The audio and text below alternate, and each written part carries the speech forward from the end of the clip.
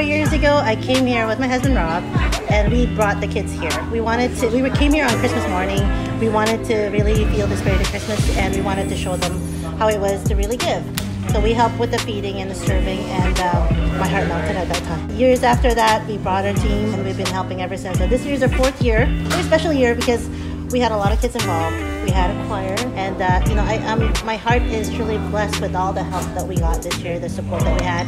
Um, we we had help from different grocery stores that donated uh, uh, certain items. Uh, we've had help from clients who's donated uh, you know socks as well as some money for, for, for the for the tube. So we we've helped put together a package for them.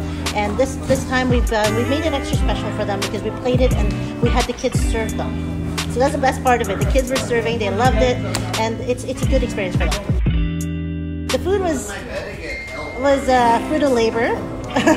we started yesterday at one o'clock in the afternoon and ended at one o'clock in the morning. We had a team of dedicated friends who rolled egg rolls. we were good rollers with the, with the egg rolls and uh, tasted them and made sure it was a perfect uh, recipe for today. We've had um, we've served ham. So during the week we've given away 400 hams and turkeys to families, 400 in total.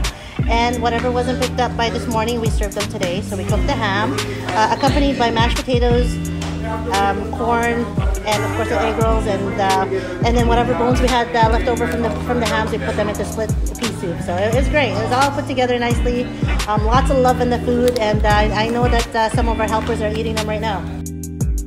I'd like to invite everyone to uh, help us give back to the community. We're actually going to be doing this quarterly, so it's not just during the Christmas holidays.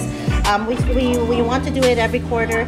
So if there, you know, if you ever have time to uh, to give back on a weekend, we'll provide the meal, and uh, we just need to really just come in and show your support and help serve. And uh, no singing all year round, not necessarily, but you can if you want. And uh, we're also taking donations for, for, for our friends on the